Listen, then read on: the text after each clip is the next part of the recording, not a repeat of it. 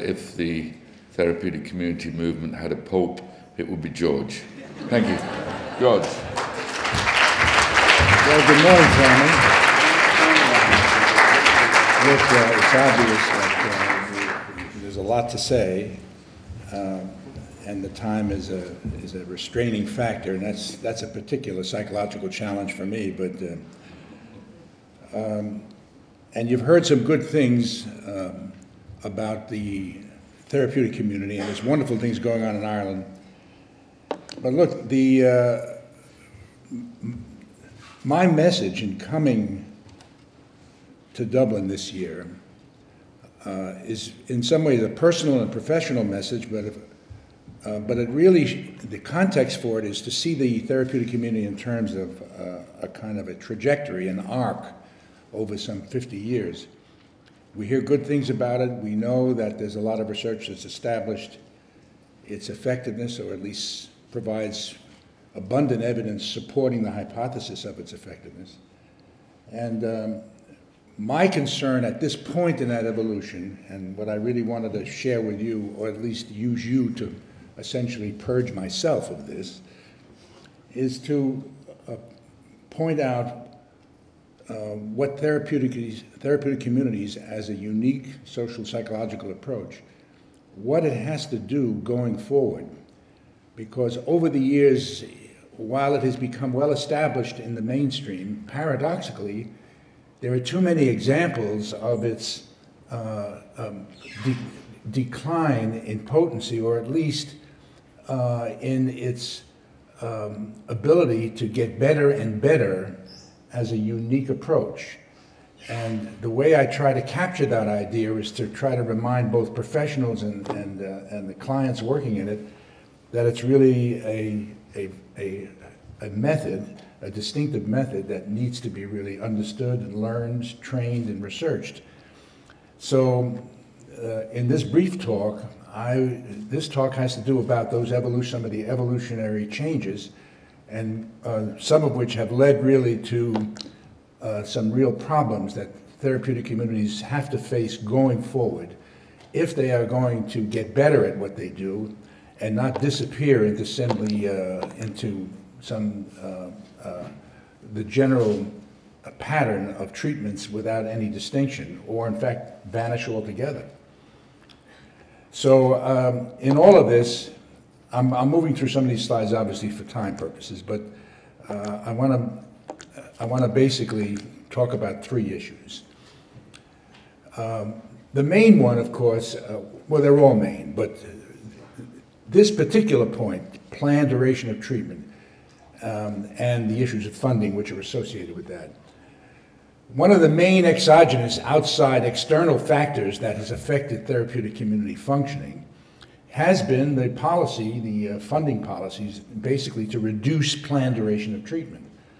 And, and this kind of a policy, certainly in North America, and I think there's plenty of evidence of it here in Europe, uh, is paradoxical in terms of the science. Everything we know about therapeutic community treatment, it turns out other treatments too, but but certainly everything we know about therapeutic community treatments is that um, they, that approach deals with the most severe clients, as Dr. Gaurav pointed out, and, and we also know that to bring about the changes in therapeutic communities, um, it's a, you need a high, kind of high intensity approach, which usually is correlated with time in treatment, so that we use time as a proxy really for the dosage of treatment, so to speak the longer the client stays in treatment, the better they do.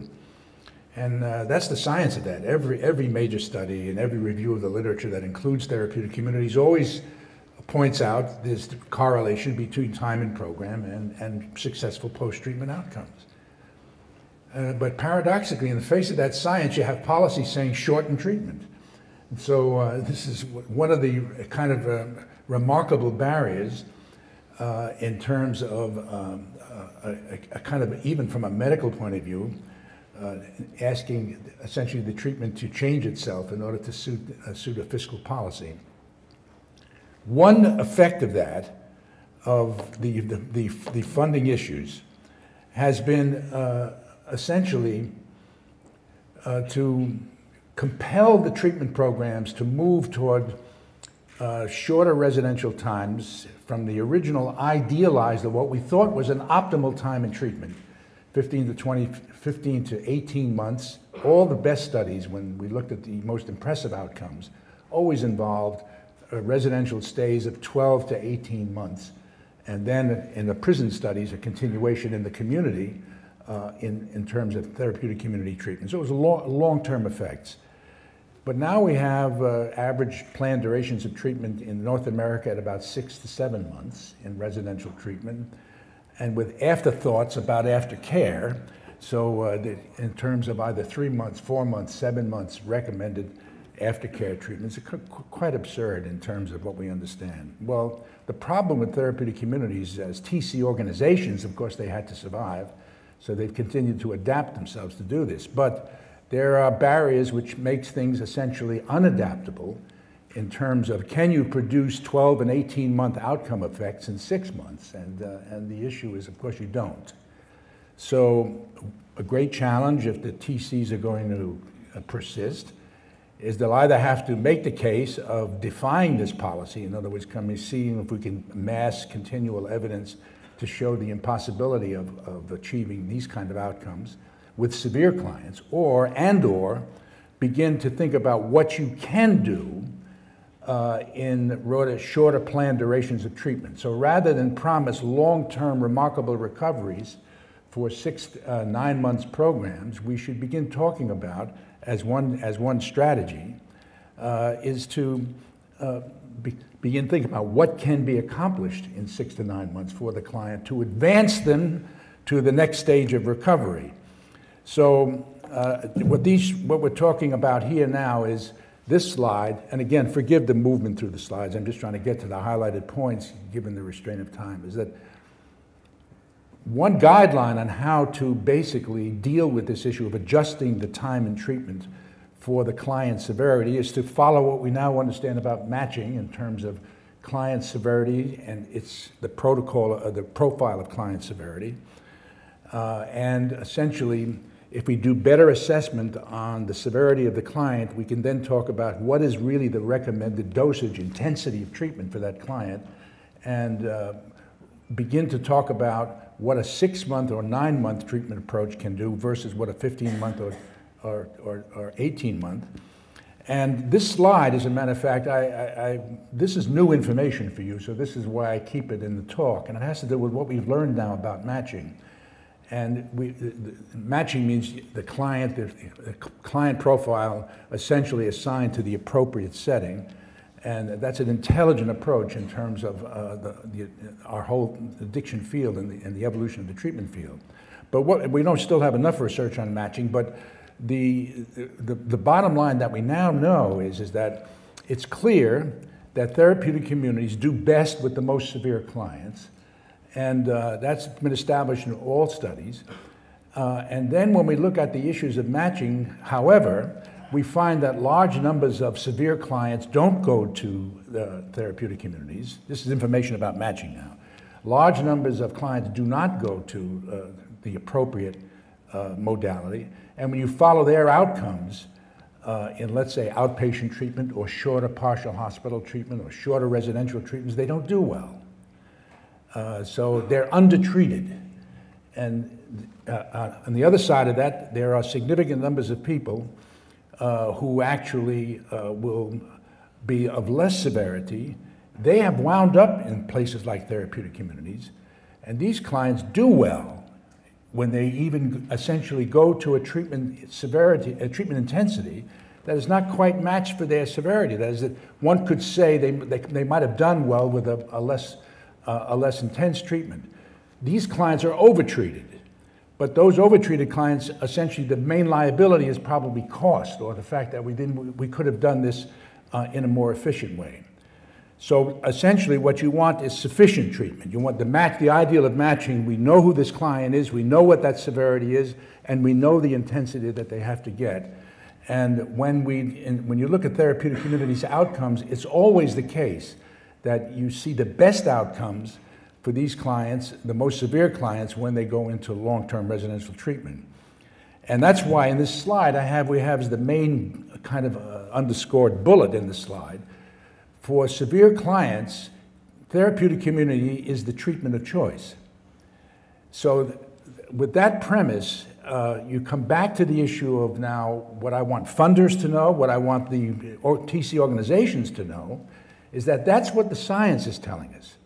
So when you are modifying and going into six months and eight months and, and heroically you know, trying to do what you're trying to do in that period of time, you must really deal with the reality of what we've really learned now about this, and that is if we have to really shorten treatment, should we really be promising the same outcomes? You know what I mean? And it turns out, of course, we don't have a lot of recent studies now on outcomes with short-term treatment, any short-term treatment, but particularly short-term residential treatment. We don't have a sufficient research base on that since 2008 or 2009, or even earlier. So I'm still on the issue of what the, the, this challenge of funding and short-term treatment is. There's a second option on this, is you can refine the um, the treatment matching options for different levels of severity, and that, this is, has to do with uh, an ingenious approach of can we reconstitute the impact of long-term treatment by permutations of short-term and, and uh, shorter-term residence and longer-term outpatient. So you pull together, and essentially the idea is to keep the client in, a, in an intensive recovery-based approach but does it all have to be in a residential setting? So this has been, there are a few studies and a few uh, heroic attempts by some programs to put together combinations of uh, short-term, shorter-term residential treatment, but longer-term outpatient treatment or non-residential treatment. Uh, and these still need to be well studied. The few, the few studies that we've done on that are encouraging. But the, the message of those studies is that that, that out, so-called outpatient component still has to be intensive and still has to use community as method, which I'll come to in a moment about as the, as the primary uh, treatment approach. So it's not simply a, a, kind of menu or potpourri of evidence-based, evidence-informed strategies. It still needs the primary community as method, the unique power of the TC as its main approach to accomplish uh, these outcomes if we're going to use permutations of shorter term residents and longer term non residents as a way of dealing with the, the cost of long term treatment. So, the, what this slide emphasizes now is this, uh, this what I think is more a, a, very creative solution to this. Remember, I'm talking about now challenges, so uh, we're, we're talking about solutions. What this emphasizes is that if TC organizations are, while they still prepare themselves to deal with the, the continuing funding challenge and producing long-term recoveries, um, one way to deal with shorter-term approaches is to change the goals of shorter-term treatment. Now, this one, uh, this is an intriguing uh, option.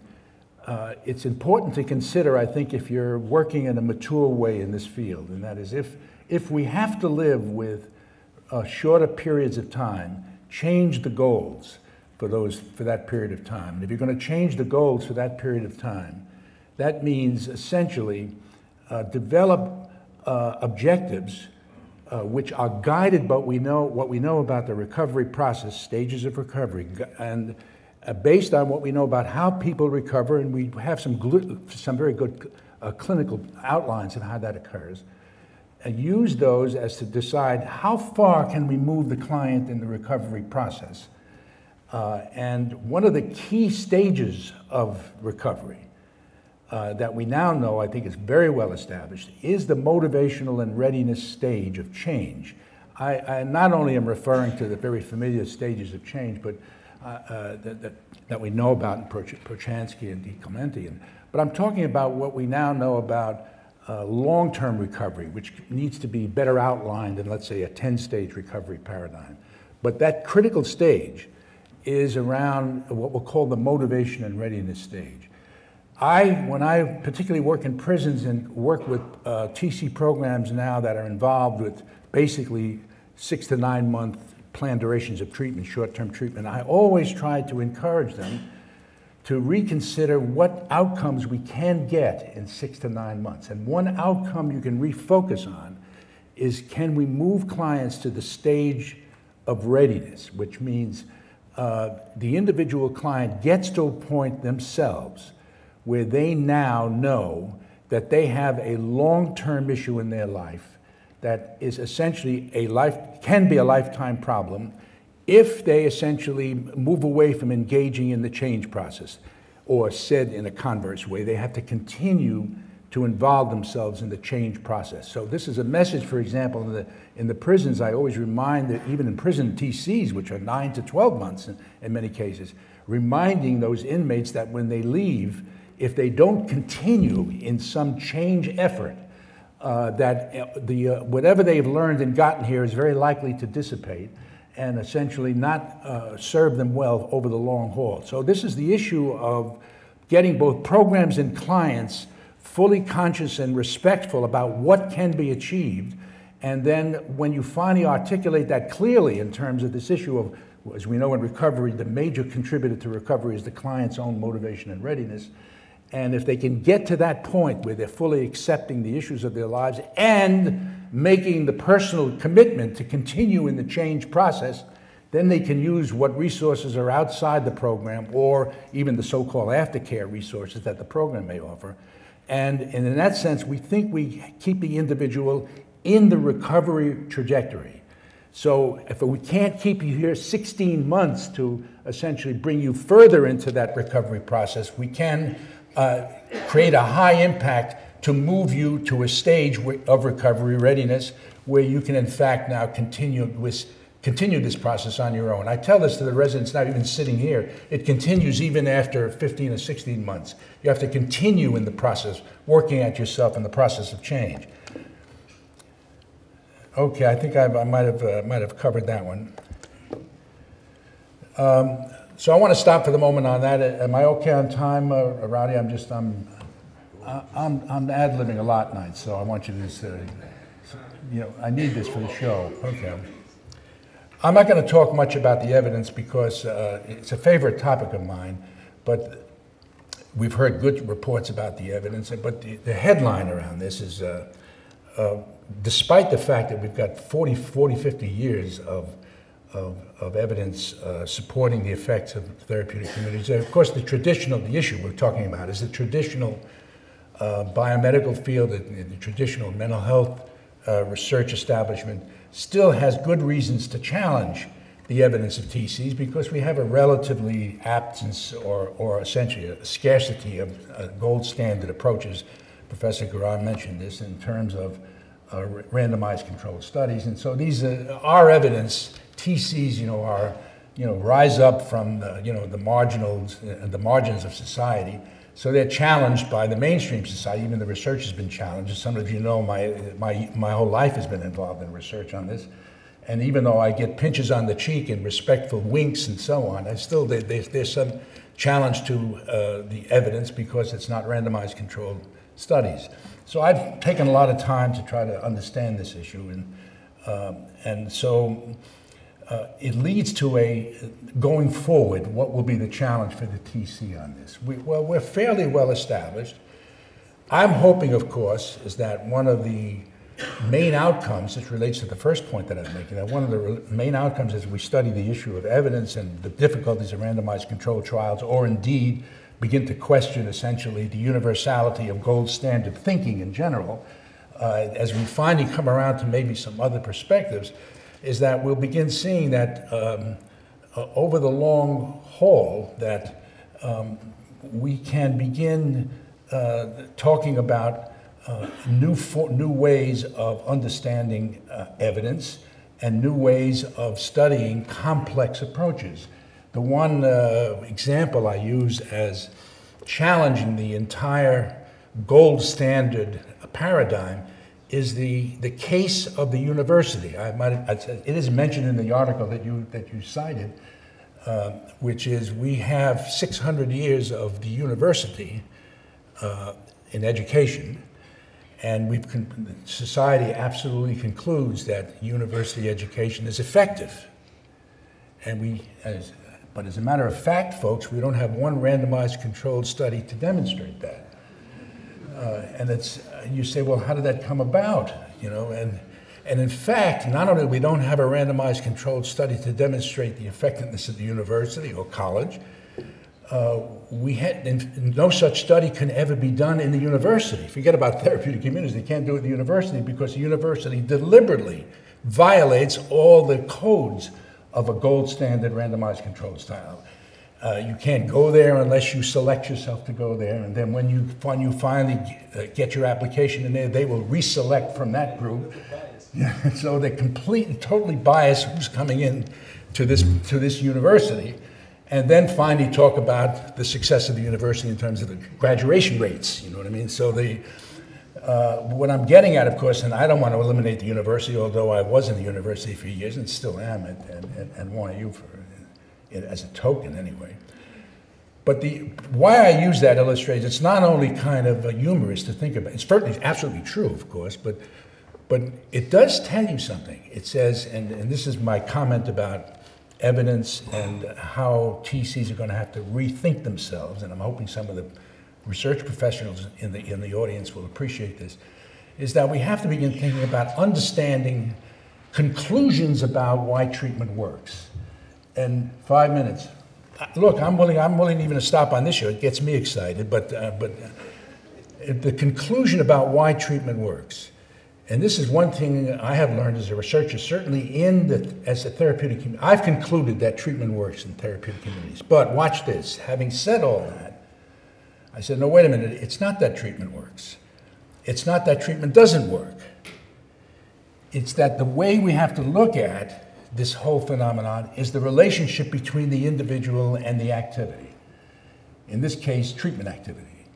Clients come into therapeutic communities they come into a place, and we can describe in great detail what goes on in there. You, as you go through the next two days of the conference, I hope this will come out. Therapeutic community, community is method. But if in this context of understanding how and why it works, treatment works, therapeutic communities work because clients make them work. So the uh, education works, folks, because the student makes it work. They put in the main contribution to however they change. So when, when we talk about clients coming into therapeutic communities and ultimately capture that in this uh, terse statement, if you participate, you will change. Uh, the word participate is I have to do things, and if I have to do things, then I will change. So when I interpret treatment outcomes, it's always in terms of the client's motivation. They recognize they got a problem, their readiness, they're willing to take action for that problem. And then thirdly, they participate in the activities that essentially they use to change themselves, which turns out to be the definition of community as method, right? Communities teaching individuals to use the community to change themselves. So when I understand treatment outcomes, not only in TCs, certainly in the addiction field, no treatment works without the client making it work. And so that's, that's why we run into the limits of pharmacological approaches, which is so necessary in many, many cases as medically assisted approaches, because we know there's something beyond simply trying to alter the nervous system with the pharma- pharmacological approach. Client has to be doing more than that in terms of sustaining some long term recovery. So treatments work because clients make them work. So when we talk about uh, the issue of evidence for treatment, we need to rethink, given this proposition that I just shared with you, we have to rethink what, what evidence that we really need that, uh, that treatments are working. Well, one, of course, one obvious implication is when I walk into programs and I see clients very, very active in the, in the whole process. When I see them in, investing in time, time and effort, participating in groups, uh, running morning meetings, carrying out mutual verbal interactions with one another, which all focus on the change process, I have high hopes that we're going to see good outcomes. Even in many ways, even before I see the, the nature and the quality and the education and skill of the staff. So this is just an example of how we're going to have to be, begin rethinking in terms of uh, evidence. And one first proposition this is my final repetition. It says rethink how we understand treatment outcomes. Any treatment, as a matter, at least with uh, treatments that involve social psychological change in individuals. So um, I'm going to stop for the moment. I will almost stop. I want to add something to uh, the evidence story. Uh, most of the direct evidence, of course, has been doing these long term outcome studies. Uh, but as some of you may have been hearing at the beginning of this conference on some of our workshops yesterday, uh, therapeutic community elements, which we don't have the time to discuss here in this meeting right here, but the, many of the key elements of the therapeutic community, while uniquely developed by the clients themselves over 50 years and uh, into a now very formal method, actually have a very uh, parallel corresponding examples outside of therapeutic communities. Now, in other words, very well established social psychological learning principles uh, that have had good empirical now support over the years in many other areas like peer tutoring and, and vicarious learning and trial and error learning uh, and, and, and reward learning and so on. All of that, those kinds of principles are embedded in therapeutic community activities. While the therapeutic community communities found its own way to mediate those activities, how do you give reinforcements and how do you essentially give affirmations and correctives to people? All of that has a, a, good sound parallel in good social psychology, even though it was never, TCs were not developed by social psychology, they were developed uniquely. Now, why I keep emphasizing this is because this makes the point of what I would call indirect evidence. Therapeutic communities have a heavy weight of indirect evidence supporting what it does. When we say, is it an evidence informed treatment?